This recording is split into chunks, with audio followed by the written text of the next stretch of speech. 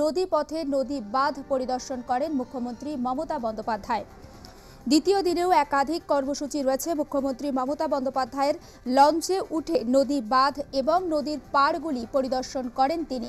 কারণ আপনারা জানেন যে আমফান কিংবা যে কোনো ঝড় আসুক না কেন, সুন্দরবন এলাকার মানুষজনের ব্যাপক ক্ষতি হয়। জলোচ্ছ্বাস হয়, নদী বাঁধ ভেঙে যায়। এক প্রকার জীবন হাতে করে তাদেরকে তাদেরকে কাটাতে হয়। সেই সমস্ত নদী বাঁধ এবার মুখ্যমন্ত্রী সরে জমিনে খতিয়ে দেখলেন। আমাদের সঙ্গে এই মুহূর্তে টেলিফোন লাইনে রয়েছেন আমাদের অ্যাসিস্ট্যান্ট এডিটর প্রশান্ত দে। প্রশান্ত দা, তুমি মুখ্যমন্ত্রীর সফর সঙ্গী। আজকে মুখ্যমন্ত্রী মমতা বন্দ্যোপাধ্যায় নদী বাঁধ পরিদর্শন করছেন। আর ঠিক কী কী কর্মসূচি রয়েছে আর নদী বাঁধ পরিদর্শনের পরেই বা মুখ্যমন্ত্রীর কি প্রতিক্রিয়া?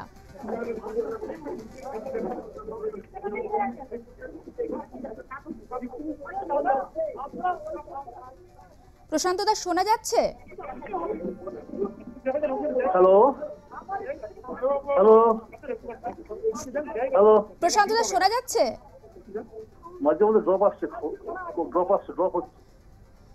আপনাদেরকে আরও একবার জানাব মুখ্যমন্ত্রী মমতা বন্দ্যোপাধ্যায় রয়েছেন হিঙ্গলগঞ্জে এবং আজকে তার এই সফরে দ্বিতীয় দিন। এই প্রথম রাজ্যের কোনো মুখ্যমন্ত্রী গেলেন সুন্দরবন অঞ্চলে পরিদর্শনে। এবং আজকে তার একাধিক কর্মসূচি রয়েছে। লঞ্চে উঠে নদীর পাড় এবং নদী বাঁধগুলির অবস্থা খতিয়ে দেখেন মুখ্যমন্ত্রী মমতা বন্দ্যোপাধ্যায়। এই মুহূর্তে আমাদের সঙ্গে টেলিফোন লাইনে রয়েছেন আমাদের অ্যাসিস্ট্যান্ট এডিটর প্রশান্ত দে। প্রশান্ত দা, মুখ্যমন্ত্রীর সফর সঙ্গী তুমি নিজে। গতকালের ঘটনার পর আজকে মুখ্যমন্ত্রী লঞ্চে করে নদী বাঁধ নিজের সরেজমিনে ঘটিয়ে খতিয়ে দেখছেন এবং তার আর কি কি পরিকল্পনা রয়েছে? বাঁধগুলি পরিদর্শনের পরেই বা তিনি কি বলেছেন? এই মুহূর্তে বারোটা পঞ্চাশ নাগাদ মুখ্যমন্ত্রী লঞ্চে উঠেছিলেন। আমরা ইতিমধ্যে হাসনাবাদের কাছে খাপুকুর বলে একটি গ্রাম সেখানে আমরা এসে পৌঁছেছি। মুখ্যমন্ত্রী লঞ্চ এখানে দাঁড়িয়েছে। মুখ্যমন্ত্রী এখন খাপুকুরে এসেছেন। এখানে নামবেন। এখানে তার বোধহয় কিছু কর্মসূচি রয়েছে। উনি একটি স্কুলে যাবেন। এখন তাকে লঞ্চ থেকে নামানো লঞ্চ থেকে নামছেন তিনি। আহ, রয়েছে পুলিশের নিরাপত্তার মধ্যে দিয়ে। একটা আহ, নিরা- নিরাপত্তার বেশ ব্যবস্থা করা হয়েছে। বেশ কিছু স্কুলের ছাত্রছাত্রীরা তারা এখানে জড়ো হয়েছে। আশপাশের গ্রামের মানুষ তারা এখানে জড়ো হয়েছে। ফলে সেই জায়গা থেকে ইতিমধ্যে যেটা মনে করা হচ্ছে যে সিএম এখান থেকে হয়তো কোনো একটা স্কুলে যাওয়ার পরিকল্পনা রয়েছে সেখানে স্কুলের স্টুডেন্টদের সঙ্গে তিনি হয়তো দেখা করবেন, তার কোনো ভিজিট এখানে রয়েছে। পাশাপাশি মনে করা হচ্ছে যে গ্রামের মানুষের সাথে কথা বলবেন এবং এই নদী পথে যাতায়াতের পথে বেশ কিছু গঙ্গার যে সমস্ত পাড়গুলো সেগুলো তিনি দেখেছেন। হয়তো সেগুলো সেগুলো তার নজরে বিষয় ছিল, তো সেগুলো তিনি দেখেছেন এবং পাশাপাশি এখানে এই অঞ্চলের মানুষ, এই গ্রামের মানুষ, এখানে তিনি এসেছেন। এখানে নিরাপত্তা ব্যবস্থা গঠন রয়েছে।